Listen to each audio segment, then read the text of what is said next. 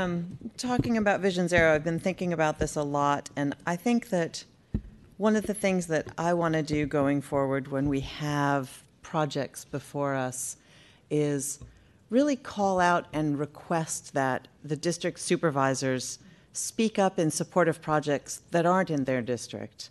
Because we are so cautious to not step on the toes of a district supervisor and push a project ahead over their kind of best wishes over removing parking, over you know doing whatever. So I think we really need to um, we really need to call. The, uh, there's a few projects that come to mind that were sort of either watered down or even just canceled due to lack of supervisor support in that district. Polk Street, which isn't the project that it should be in the middle reaches of Polk, because the supervisors, two supervisors in that district, sequentially just wouldn't support a great project.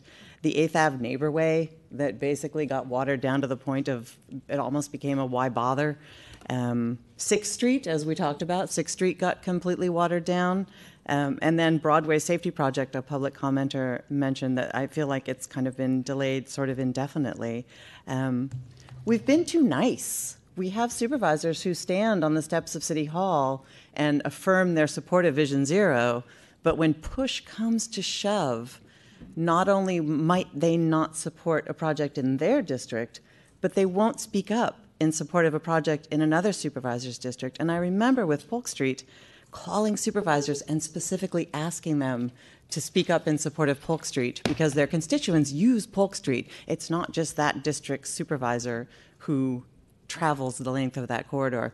So I pledge going forward that I'm going to be making a lot more noise about not just the supervisor in whose district the project is, but asking other supervisors why they're not supporting those projects. If they believe in Vision Zero, if we all believe that we can get to Vision Zero, we have to call on supervisors to support citywide Vision Zero and citywide changes. So there was no question in there. That was just a statement.